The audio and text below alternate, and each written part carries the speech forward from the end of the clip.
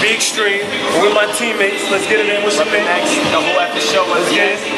All right. We're just doing a little simple routine to show people how to do it. All right.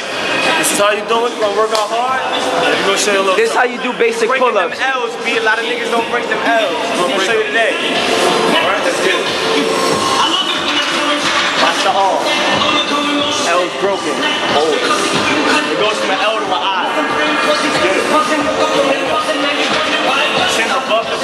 None of this.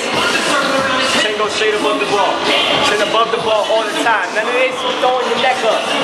Throw your face over the ball by yourself. That's how we do it. I'm about to, I'm about to take my shirt off too. I'm feeling some you showing how it's supposed to be. You're supposed to have this crease in your chest. It's showing you that we work on the chest, and later on we're gonna show you. So that's what I do.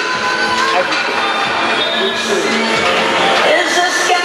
Explain what he's doing. Explain how it works. He's working on his pull-ups, right? And when we working on it, we go. Everything we do is intense. When we go at the top, it's not just doing a pull-up. It's about going up to the top and flexing your muscles. That's how you get that rip. You see that cut in my chest? It's because I go at the top of my pull-up and I squeeze. And it's on a diet plan. I'll show y'all later. It's a secret.